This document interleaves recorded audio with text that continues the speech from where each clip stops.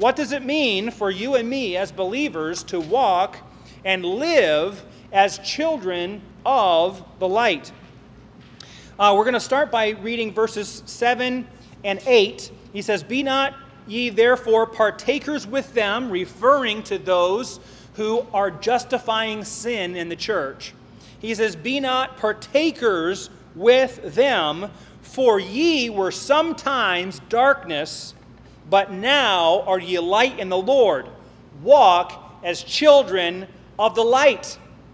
We are, I believe, in the place that we're in in our nation, uh, politically and spiritually, uh, not so much because uh, the world is evil around us, but I really believe that we are where we are at because Christians have not been the light that we needed to be in good times. You know what, Ryan? I see my wife walking out there. If you could let her in. I believe we as Christians have not been the light that we could have and should have been. And so we're seeing darkness overtaking not just this nation, but the world. You know, I have to keep reminding myself that as tough as it is right now to be speaking to you through a camera, once again, for the second time now this year, there are uh, missionary friends of mine in Europe who have not been able to speak to their congregation face to face since this whole thing started uh, earlier this year. And it's a tragic thing, it's a difficult thing, but folks, I believe much rises and falls on the faith of the children of God and their willingness and their obedience to be a light.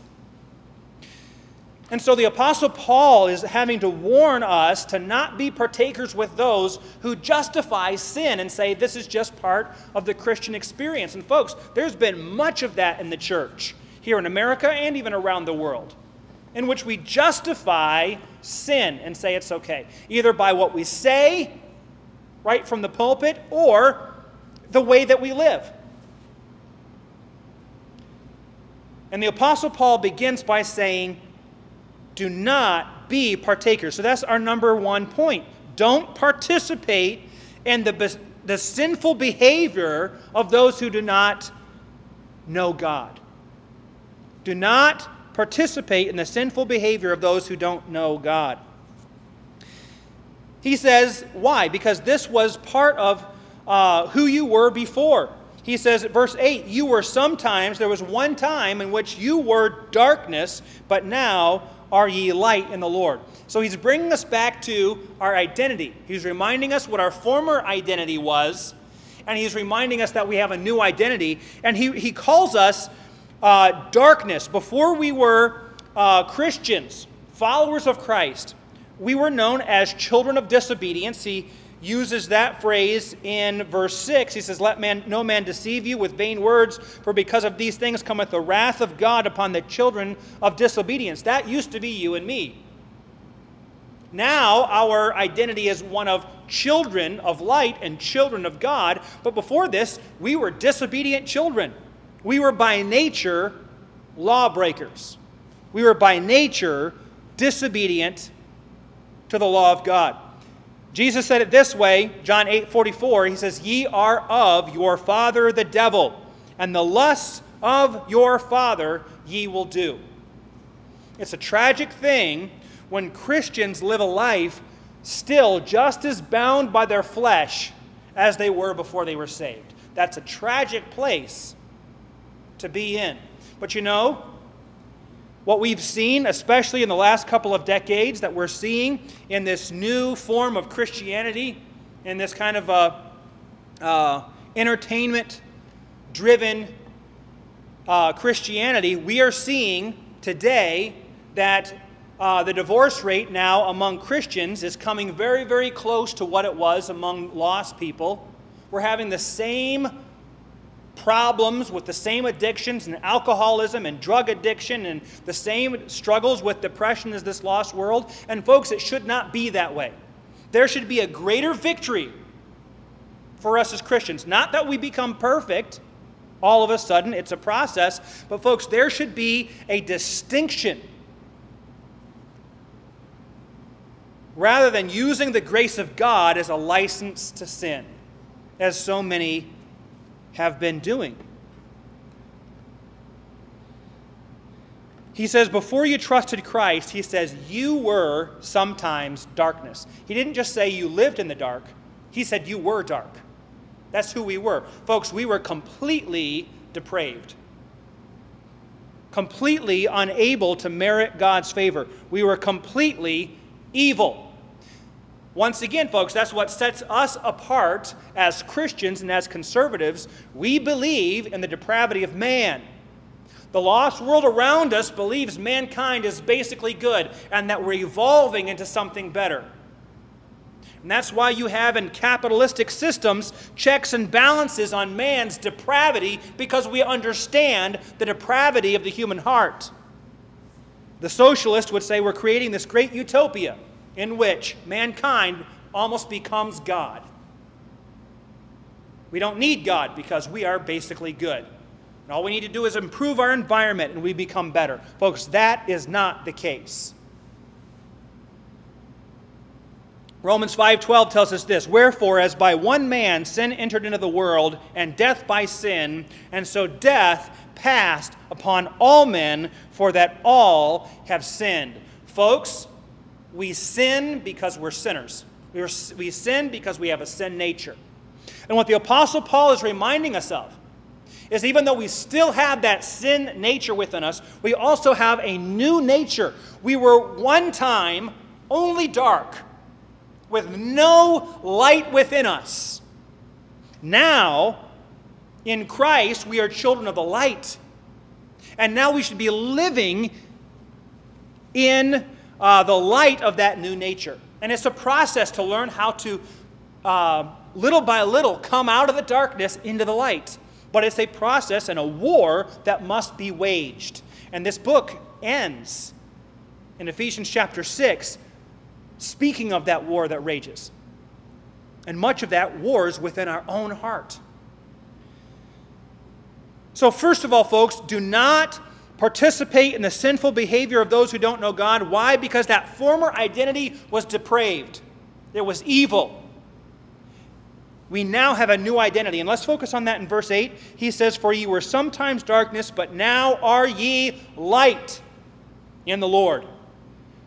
Walk as children of the light. So, folks, when you trust Jesus Christ, He brings you out of darkness into light.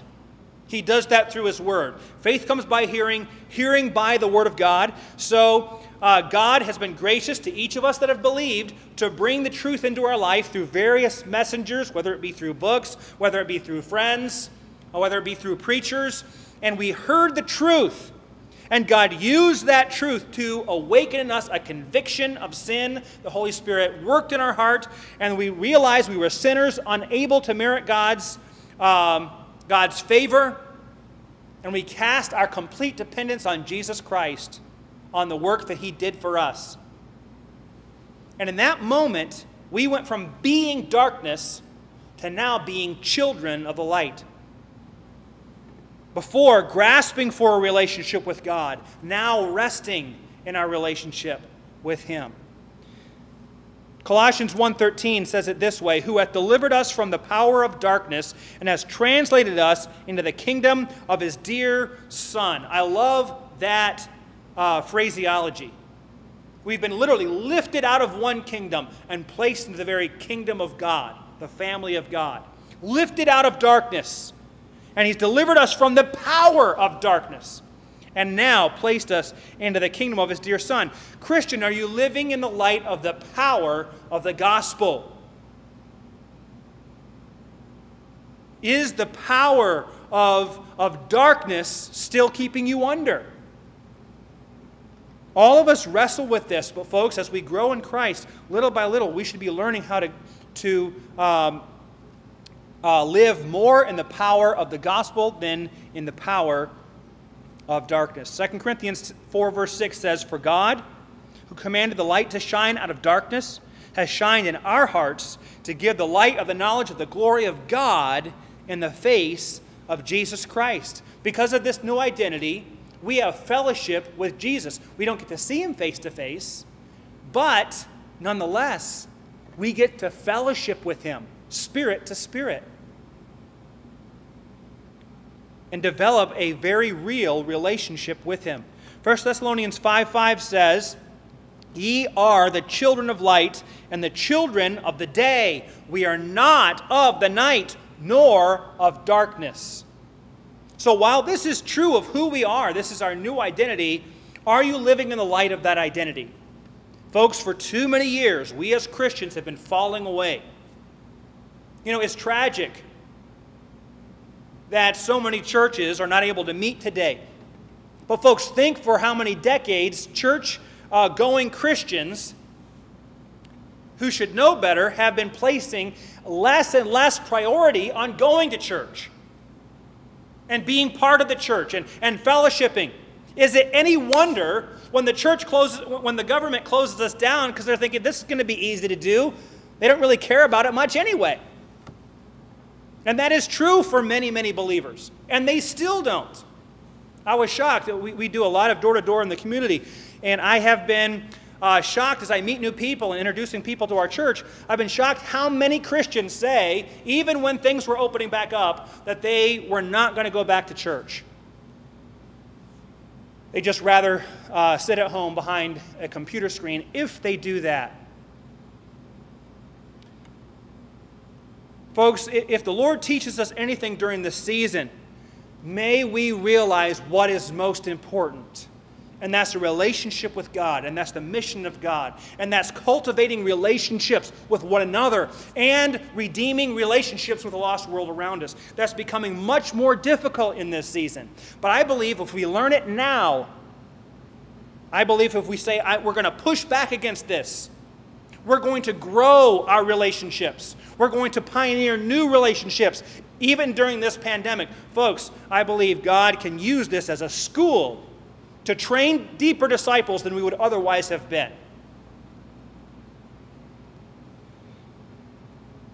He says, Because of our redemption, we are now light, and he uses this phrase, in the Lord. Before you and I become high and mighty and look down our long noses at those who are still uh, lost in sin, God has not made us light necessarily. He says, light in the Lord. Even though we have this new nature, we are not intrinsically now perfect and good. Whatever light we have comes from Christ Himself. We are not the source of the light, Jesus is. And that's so important to remember. At no point can we ever get on our high horse and look down on the lost and think that now we are somehow uh, some better form of human being. No, we are still sinners, deserving even now of the wrath of God. And yet we've been pardoned and forgiven. And it should not magnify us, it should magnify Jesus. We are now light in the Lord. John 8 12 says this Then spake Jesus unto them, saying, I am the light of the world. He that followeth me shall not walk in darkness, but shall have the light of life. Folks, there are many, many people searching for light and they don't know where to turn right now. They're searching for answers. You and I have to do all that we can to point people to Jesus.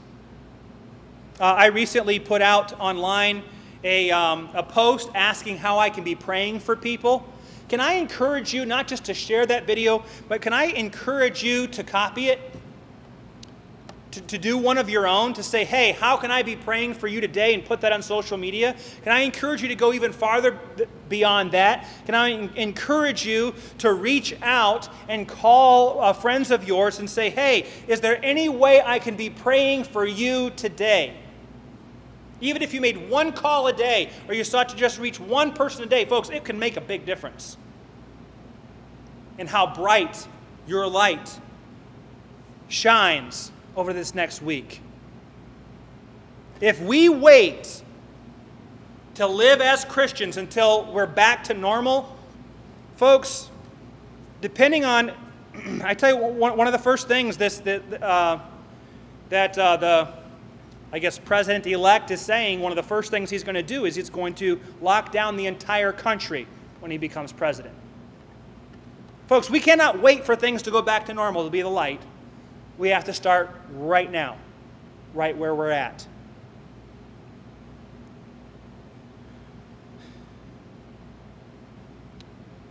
Quickly, let's look at the second point. This comes at the end of verse 8. He says, Walk as children of the light. So, first, don't participate in the sinful behavior of those that do not know God. But secondly, walk as children of the light. Look at verse 8. He says, Walk as children of the light. Verse 9, For the fruit of the Spirit is in all goodness and righteousness and truth. So, now he's defining what this means. He's giving us some more descriptive terms. So, he tells us to walk in this new identity. We are now children of the light. I love the word walk because it helps us to realize this is a process. So we become brighter, ideally. The longer we walk with Christ, the more mature that we become, the brighter the light shines. The less we walk in darkness, the less shrouded by darkness we are, and the more we are walking into light, the more we, we learn to run to the light. When I was a young person, I got saved as a child, really started to grow in my walk with the Lord as a teenager. But I can remember being afraid of the light. I can at times even be, uh, remember being afraid of reading the Bible because I was afraid of what it was going to expose that was wrong in my life. And there was a fear of what would be exposed and of the sacrifices that I'd have to go through to, to walk in light. And, folks, over time, I began to realize you know what? That was a, a foolish way of living. Because the longer we live in darkness, folks, destruction abounds in darkness. And by shrouding areas of my life, I was cursing those areas of my life. And we as Christians need to learn that there needs to be this pursuit of truth that says, Lord, at any cost, I want to know the truth because the truth sets free. That's how I find your best for me, Lord, is in the light of truth. And we run to it, realizing that whatever the cost up front is, is um, just uh, very, very small in comparison to our whole life and the, and the rewards. The risk is very small in comparison to the eternal reward, both now and forever. So, we as Christians should be those that run to truth, but it's a process to begin to learn to think that way and to begin to learn to live that way. And walk, an ongoing walk, is a beautiful pers- perspective, beautiful picture, just one step at a time, one decision at a time. It's progressive. That's encouraging to me and he uses this terminology throughout this chapter. Chapter 4, actually, he starts by saying, uh, Walk worthy of the vocation wherewith you've been called. He then says, verse 17, he says, um, Walk not as other Gentiles walk in the vanity of your mind. He says again, chapter 5, verse 1, um, he says, You are, uh, verse 2, he says, Walk in love. And then in verse 15, he's going to say that, see then that you walk circumspectly, not as fools, but as wise. So, in each of these ways, learning to walk in love is a process to learn how to become more loving, learning how to walk worthy of our vocation, learning how to walk wisely. It's a process. You don't become wise overnight. Why? Because uh, it's un- un- unlike just reading a book and getting understanding, applying that understanding takes a lifetime. So, walking in this, this identity is a process. And he says, focus here on these three things. He says, the fruit of this new walk, the fruit of the Spirit, is in all goodness and righteousness and truth. So, as we begin to walk down this pathway, the Holy Spirit is going to bring about um, certain fruits of walking in the light. The very first is goodness. Goodness is a fruit that the Holy Spirit seeks to produce in a believer's life, first and foremost, because God is good. We find in Galatians chapter 5 in the fruits of the Spirit, it's one of them. It says, But the fruit of the Spirit is love, joy, peace, long suffering, gentleness, goodness, faith, meekness, temperance. Against such there's no law. Aren't you glad that goodness has not been outlawed in this country? We can still be good.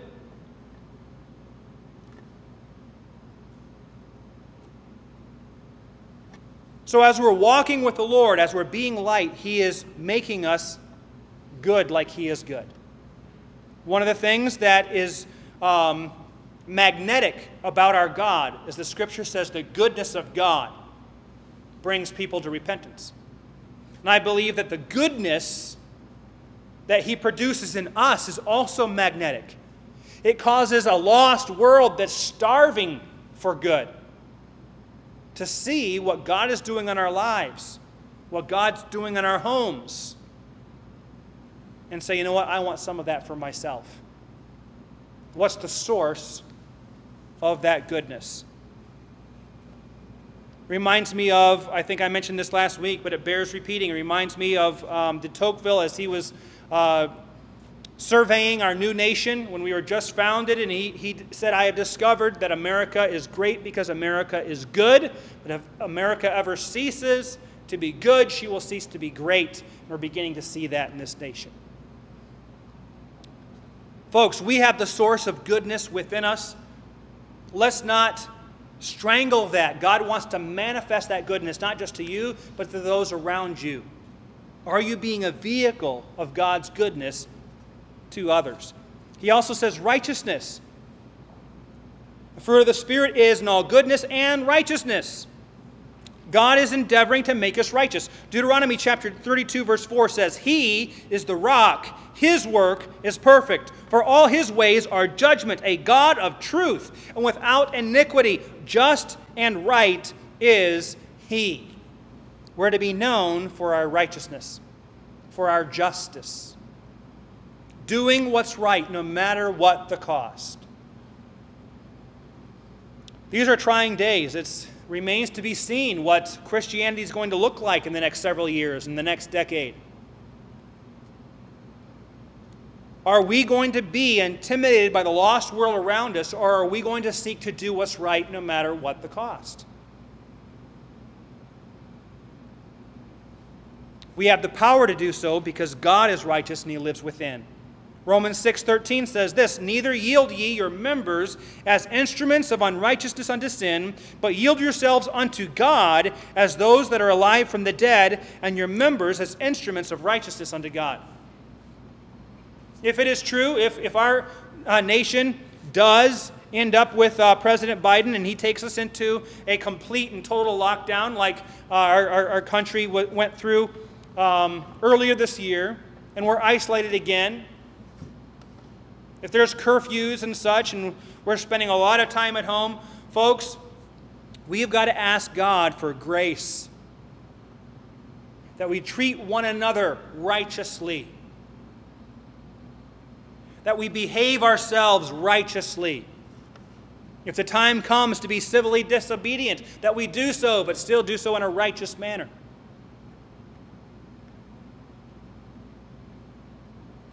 Remember, the wrath of man does not accomplish the righteousness of God.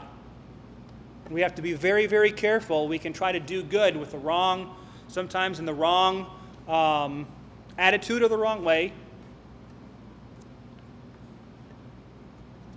Scripture is teaching us here that really the believer's growth to maturity necessitates a progressive transformation from unrighteousness to righteousness. You know, many have been spending a lot of time at home. People are falling into destructive patterns. You know, as we're isolated, isolation is the chief component for addiction of any kind. So, as we're isolated from one another, if you're not constantly pushing back against that, um, you're going to be more susceptible to temptation.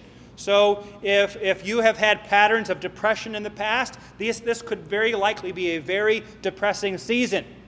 If you have had uh, uh, certain addictions in your past, uh, whether it be drugs, alcohol, one thing that is taking our na- nation right now is sexual addiction. It's going on behind closed doors. and many a Christian is falling during this season. And folks, we have got to be seeking the Lord for victory in this way. We cannot be those who seek to pacify ourselves uh, in anything but God and what is right and what He has sanctioned for us. This does not have to be a time that literally hollows out who we are. We'll say more about that here in a moment. But lastly, uh, the, the third of these is truth. We walk as children of light by growing in goodness, growing in righteousness, and growing in truth. And that's really, I think, the most important of all of these so far. Without the truth, none of the rest of these can happen. Growing in our, in our understanding of the truth and growing in our expression of the truth. And sometimes, folks, this hurts. If you want victory over sexual addiction, which is a major highlight in this passage, because it's so easy to go on, no one knows. It's not like you're hung over. It's not like you're, you're uh, uh, on, on some high from drugs or whatever, losing control in that way. You can kind of do this secretly, and, and yet, folks, what the Lord wants for us is to grow in righteousness during this season. That we would not be uh, imbibing to this unrighteous behavior. And it's truth that brings us out. You say, you know what, I, have got this pattern that's bringing me down. Then, folks, we have to begin by speaking truth to ourselves and then find someone that we can confide in, someone that we trust, and say, you know what, I'm struggling in this area and I need some help. I need some accountability. I need some encouragement. Speaking truth, folks, first to yourself and then to one another. We're going to see that here in a moment. Let's move quickly. Not only does he say identify these virtues and, and, and these, these, these fruits will abound in your life, but he tells us to develop discernment. Look at verse 10. He says, proving what is acceptable unto the Lord.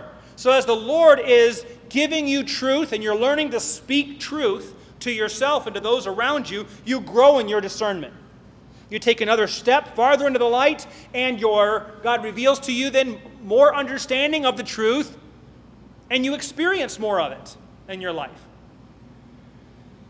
And you develop more discernment then.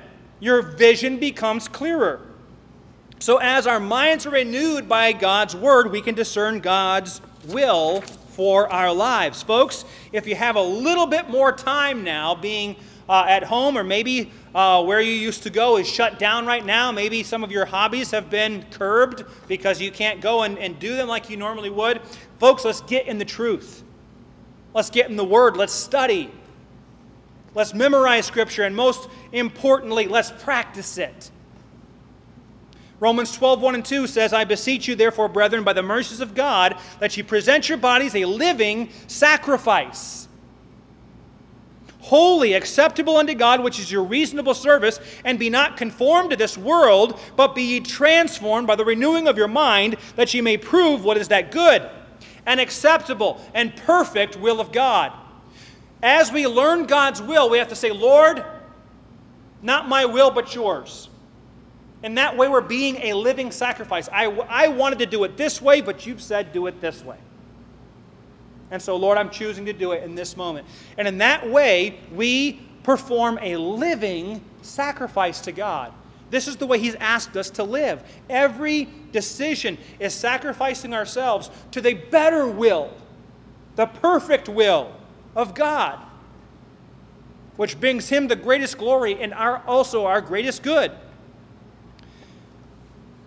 The principal criteria here for us to discern and live in a way, in this way, uh, that is acceptable unto, Lord, unto the Lord, um, is found here. Look at 2 Corinthians 5 9. He says, Wherefore we labor that whether present or absent we may be accepted of him.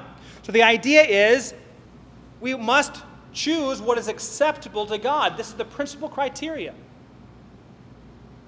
Not what do I want to do in the moment, but Lord, what is acceptable to you? Finding out what is acceptable to God is a process. we grow in our understanding of God by reading and knowing His Word and understanding it. And since this Bible in this book is uh, a picture of the limitless mind of God, then you, we could never plumb the depths of the Word of God in one lifetime. So, this is a process. The better you know God, the better you learn what is acceptable to Him or not.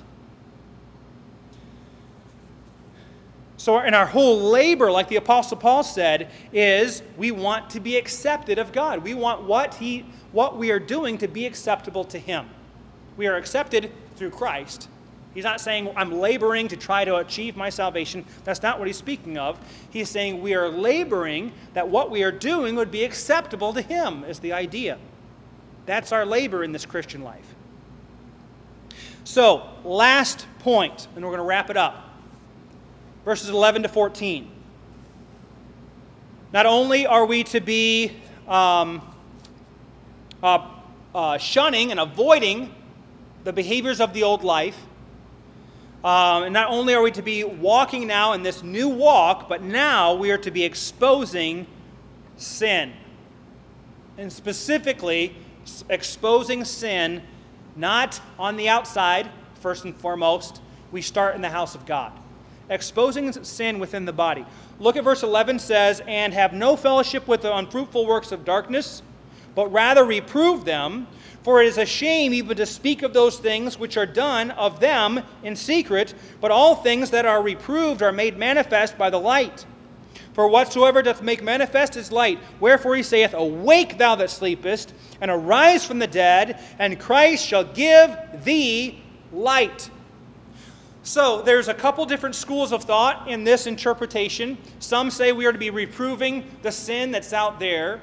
But as I've studied a number of different uh, commentators on this passage, um, many believe that because this is written to believers, and he has already given us the warning not to be partaking with those who justify sin, as we saw in verses uh, 6 and 7, that he's speaking of primarily here that we as Christians are to re- be rebuking sin in the body with one another.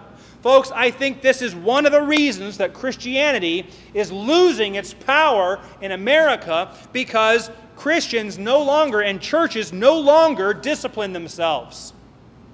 Church discipline has gone by the wayside. Church membership has gone by the wayside primarily because what do we do when someone's living in willful sin and will not repent. And we say, oh, well, well, we'll let them keep coming to church because, hey, we've thrown out membership anyway.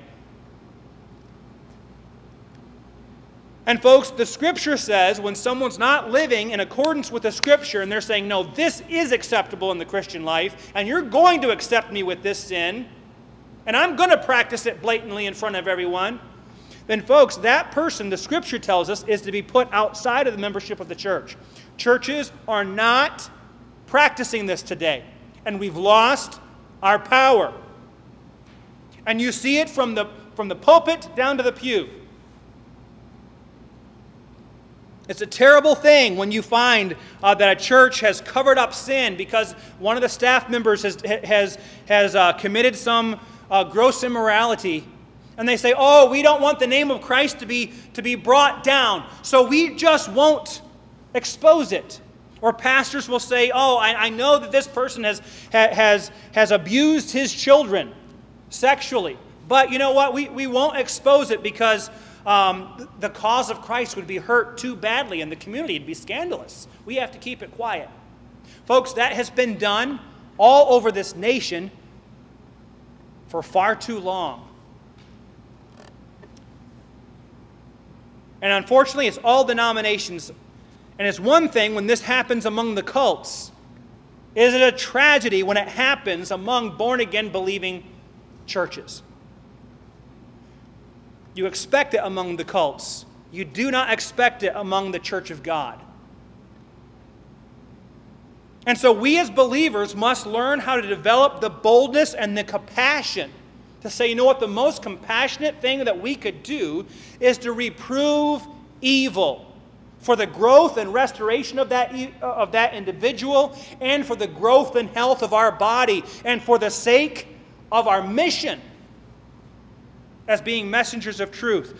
Folks, we here in the Chicago area have had numerous pastors recently falling into sexual sin or sins of greed, as we've seen here.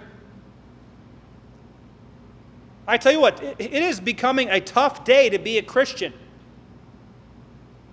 because of the scandals we are producing and not dealing with properly.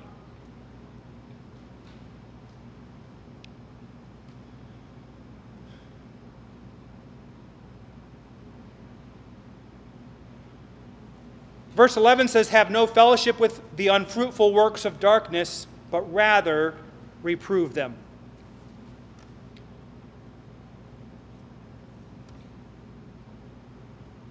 Folks, we're not to, to, be, to be avoiding relationships with lost people. I don't think that's what this is speaking of. We're to be going into all the world to preach the gospel. The idea is we're not to be having fellowship with their behaviors, with their evil behaviors. These unfruitful works of darkness, they should stand in sharp contrast to the fruits of the Spirit, who is light. Romans 13, 12 says, The night is far spent, the day is at hand, meaning Jesus could be, come back at any moment. Let us therefore cast off the works of darkness and let us put on the armor of light. Folks, sometimes it's very, very difficult to do. Sometimes we do that by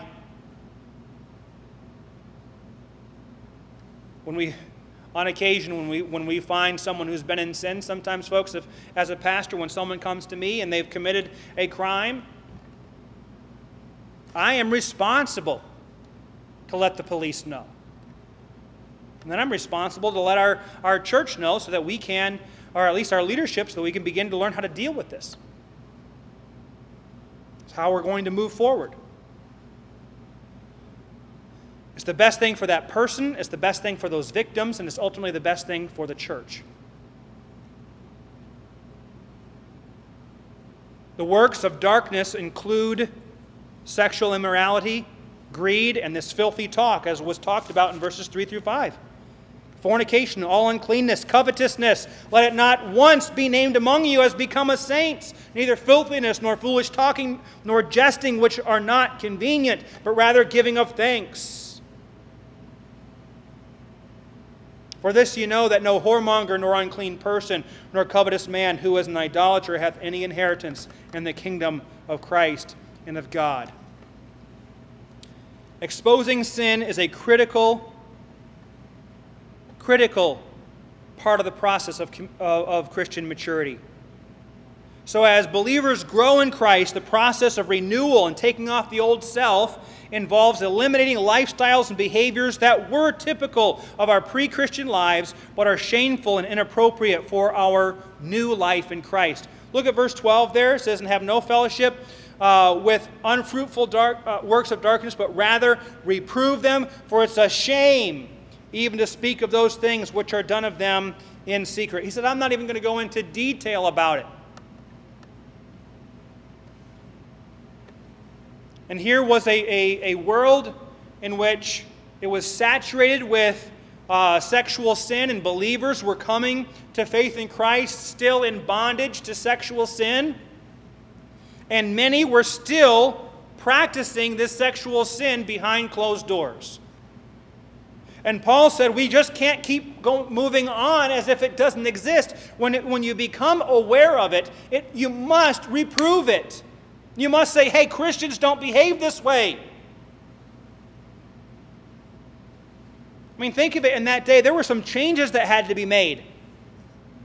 If a master was having a relationship with a slave, he's going to have to do something with that slave. He's going to have to set her free or something, or, or, or he's going to have to create a way forward that the temptation's not there anymore.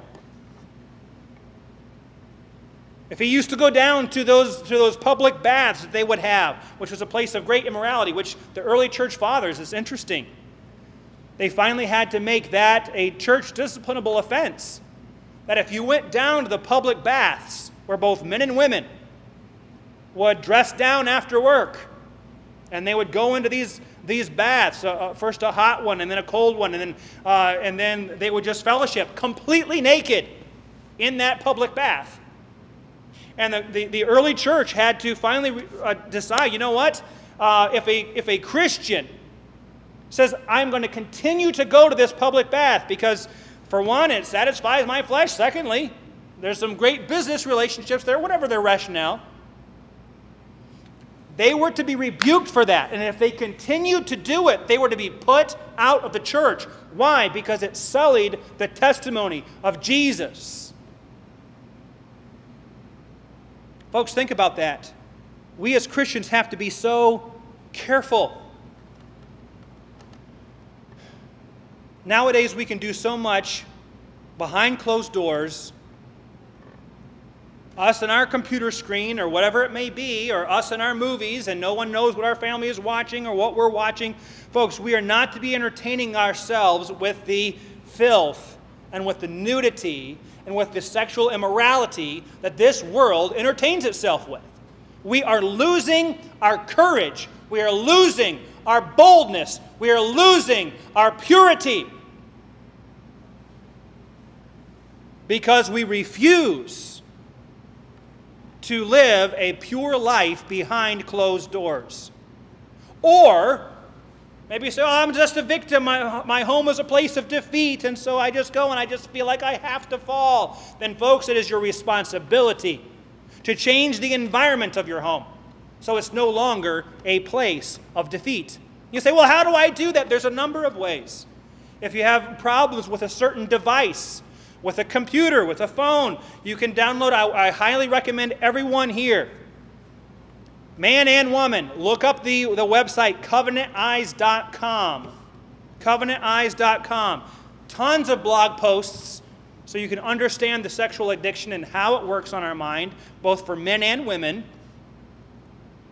Also, there's some great tools there. There are, are, are internet filters. There are um, also, accountability software that's not a filter because sometimes filters don't work because they're too limiting. It's finally like, man, for work I have to go here, here, and here. I can't use this device. So sometimes filters are too limiting. So there's something else that's, that's also very powerful that um, it basically records every place that you've been and every, depending on how you set it up, every day or every week, your accountability partners get a record of where you've been. And it's really difficult to watch something you shouldn't watch when you know your best buddies are looking over your shoulder. That those that, uh, the godly people, mentors of yours, are looking over your shoulder every time you go online. Folks, the temptation vanishes. Hallelujah. And in ways, in such ways, we can begin to change the environment by bringing others into our life. So you're literally bringing light into those dark spaces. So no longer is it a place of shame. You say, well, my place of defeat is me and my phone uh, in my bedroom, and nobody knows what I'm doing, and, but I, I'm watching things that I shouldn't. Folks, put your phone, charge your phones downstairs. Keep your electronic devices out of your room. Folks, we can begin to do things that set us up for success. The Lord does not want us to be living in shame when we could be living in confidence and peace and rest and rejoicing.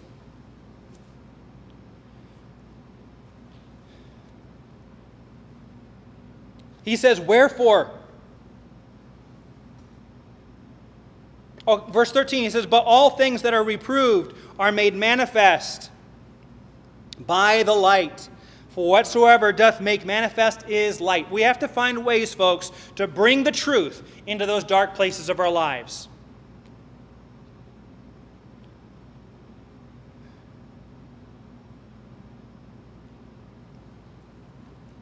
I think that before we even expose truth in the church, folks, you got to learn to do it with your. With, we've got to learn to do it with ourselves. It takes great courage and great boldness.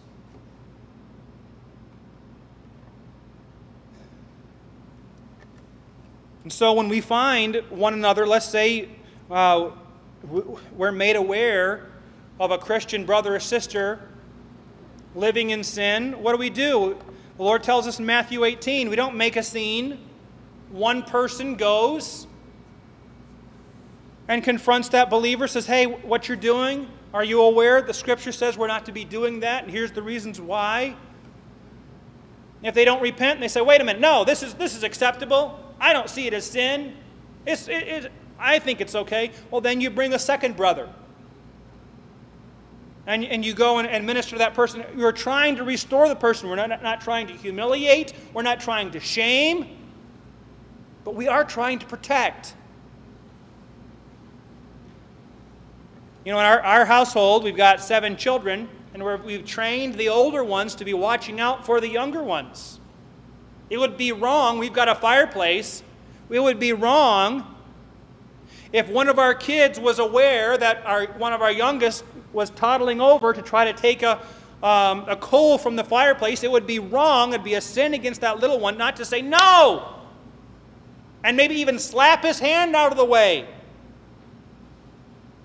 He might cry in the moment. Maybe there was something in there he wanted. And sometimes our kids like to put things in the fire they shouldn't put in the fire. And maybe it hurts their feelings. But, folks, it is wrong to watch a brother or a sister, to knowingly watch a brother or sister destroying themselves and not speak up. It is unloving, it's ungodly, and it's not truthful.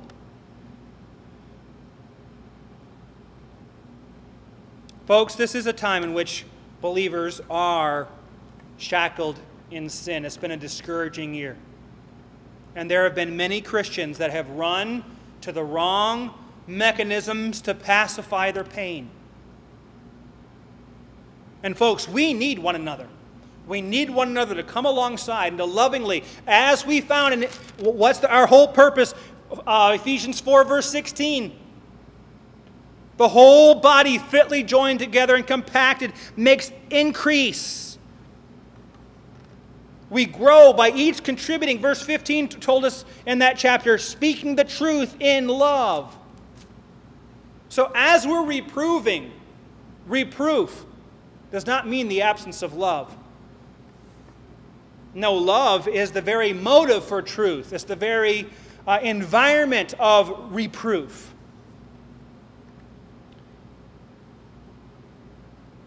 He says, But all things that are reproved are made manifest by the light.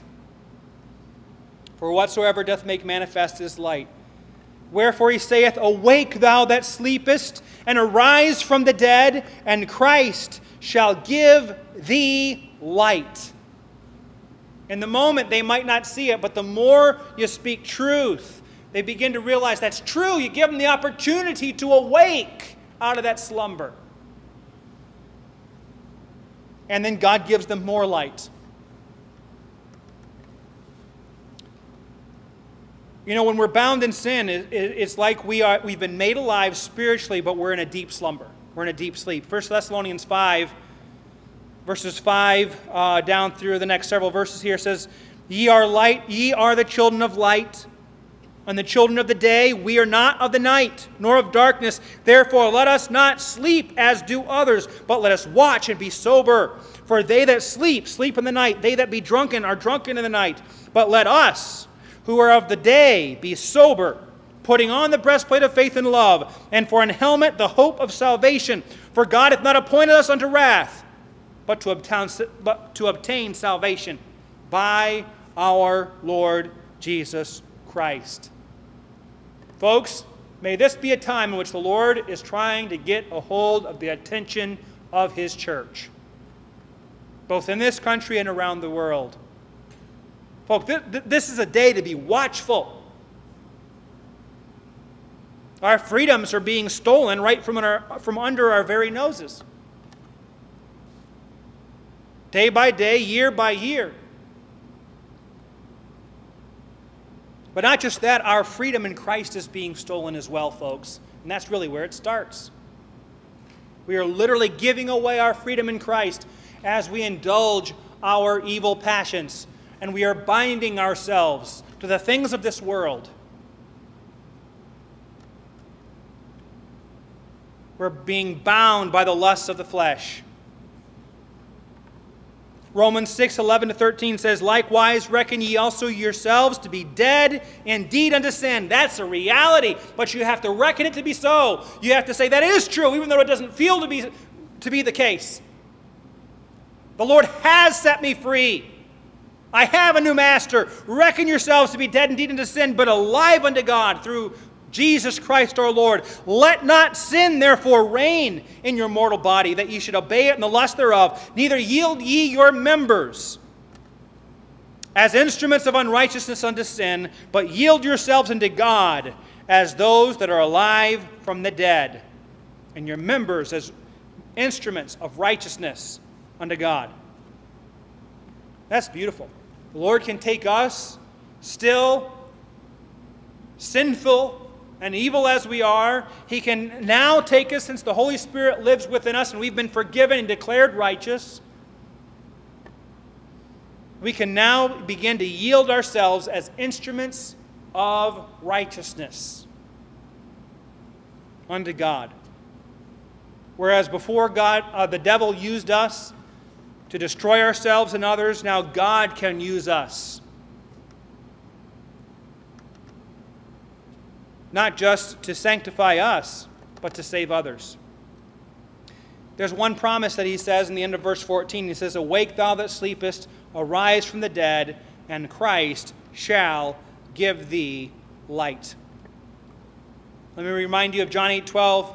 He said, Jesus said, I am the light of the world. He that followeth me shall not walk in darkness, but shall have the light of life. So when we have to expose sin, Christ is present with us to sustain us.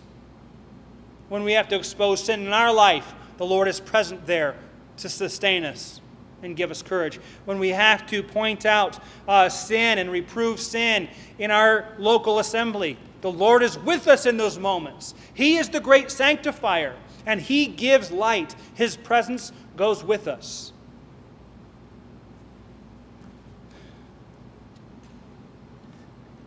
Folks, there's great urgency here.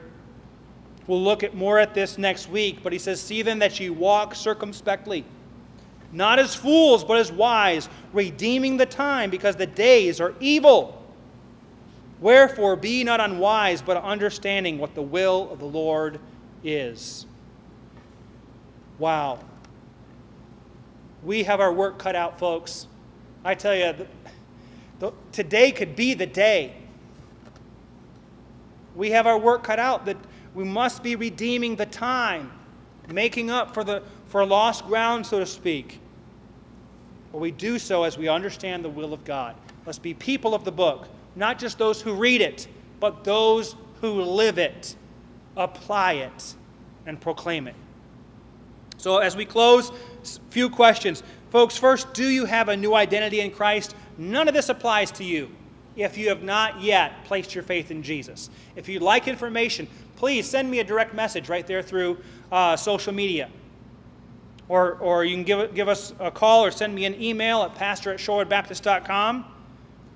I can get you some information that'll help you to make that decision. Secondly, are you living in the light of your new identity in Christ?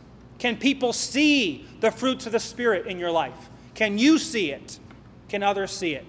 That goodness, that righteousness, that truth? Are you developing the ability to discern God's will, which you only do through application, not through just mere study?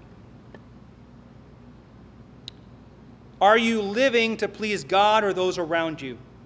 And does your life does your lifestyle expose sin by contrast? Folks, I think that's one reason why Christians are still hated in this country, is because by and large we still do provide a contrast. But not all Christians provide the contrast. Does your life contrast with the darkness around you? And are you willing to shine brightly for Christ, even when it means exposing the sin of another believer? Well, that brings us to the end. We're going to close in prayer in just a minute. Let me encourage you. We can't take an offering here physically, but uh, I'd encourage you to send an offering uh, through our text to give number. Uh, you can go to our website, shorewoodbaptist.com backslash give. And I don't have our text to give number right here. I think it's 815 581 8001.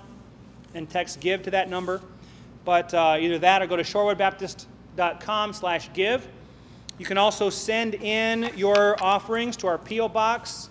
It's um, Shorewood Baptist Church, 1147 Brook Forest Avenue, PMB as in Post Mailbox 53, Shorewood, Illinois 60404. Uh, 60404. And um, your tithes and offerings are de- definitely needed during this time. We still are renting this facility, even though it's just me and our uh, few volunteers here. So, thank you so much for your prayers, for your support. Let's pray and ask for God's blessing. Father,